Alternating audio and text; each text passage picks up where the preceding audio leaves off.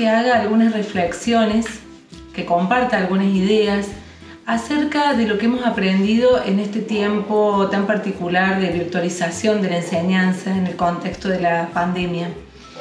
Y, y esto con el objetivo de pensar qué de inspirador puede tener esta experiencia y en qué sentido nos podemos eh, tomar algunos aspectos para capitalizar la experiencia y para pensar en las innovaciones. Y a mí se me ha ocurrido proponerles algo, que pensemos en torno a tres palabras. La primera palabra que creo que es fundamental es la pasión. Si hay algo genuino, algo poderoso que nos mueve a los profesores cuando enseñamos es la pasión. Creo que hoy más que nunca tenemos que recuperarla si la hemos perdido, nos tenemos que enamorar nuevamente de, de, esta vocación y de esta tarea de enseñar. Tenemos que trabajar para agrandarla si es que se ha disminuido un poco con esto de, del, distanciamiento, del encierro, de la virtualización.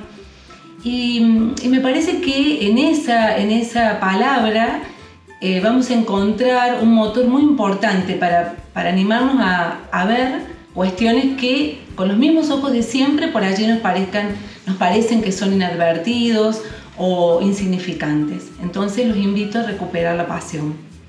La segunda palabra que les quiero proponer es la palabra conversación. Me parece que hoy más que nunca tenemos que recuperar para la enseñanza en la forma, en la manera en que nos toque eh, transitar la conversación, que, es algo mucho más que tener en cuenta al otro como un potencial destinatario. La conversación nos exige de alguna manera tener empatía, tener un clima de confianza, saber recrearlo. Entonces yo creo sinceramente que para la innovación en la enseñanza, en nuestras prácticas, tenemos que estar eh, convencidos que debe tener momentos de conversación, de encuentro, de pausa, de tiempo con los otros, que nos atraviese también en nuestras convicciones, en nuestros pensamientos, en nuestras sensaciones. Qué mejor forma, ¿no? cuando pensamos en la innovación de la enseñanza, es recuperarla como un espacio genuino, profundo de diálogo. Y la tercera palabra que les quiero proponer es la documentación. Y la documentación en un doble sentido.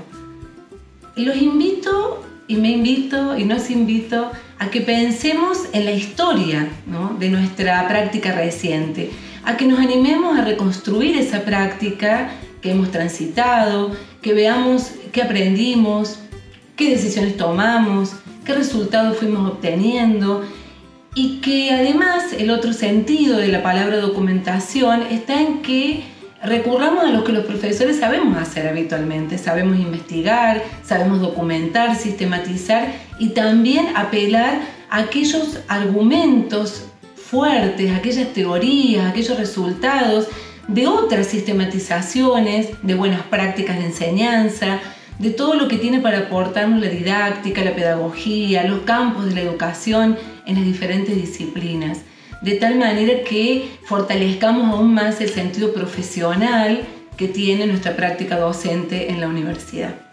Entonces, pasión, conversación, documentación son tres palabras que propongo en, esta, en este ciclo de encuentros, de charlas acerca de cómo innovar en la enseñanza y que me parecen estimulantes en lo personal. Por último, los quiero dejar con la palabra el relato de una actriz y directora de teatro, que es Victoria Monti.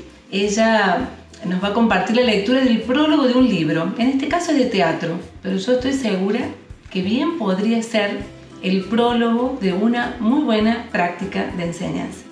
Muchas gracias. La importancia de un cuadro no se mide por la cantidad de pared que ocupa, sino por la fuerza con que tensiona esa pared la de una escultura o la de una composición musical, por su capacidad de dar plenitud al espacio o al tiempo, más allá de lo que ese espacio o ese tiempo midan. Tampoco el valor de una obra teatral depende de su extensión, sino de su densidad. Depende de su capacidad para recoger y transmitir la experiencia, de la generosidad con que enriquezca en experiencia a sus espectadores. Cada uno de los textos que constituyen este teatro para minutos, escritos a lo largo de los últimos 20 años, quiere ser juzgado no como un esbozo o boceto de un texto más amplio, y mucho menos como los restos de un largo texto fallido. Cada una de estas piezas quiere ser leída como una obra completa. Ello no excluye que un lector o una puesta en escena descubran pasadizos que comuniquen unas piezas con otras. Quizá alguno de esos pasadizos entre textos sean menos secretos para el lector que para quien los ha escrito. Al fin y al cabo, un texto siempre sabe cosas que su autor desconoce.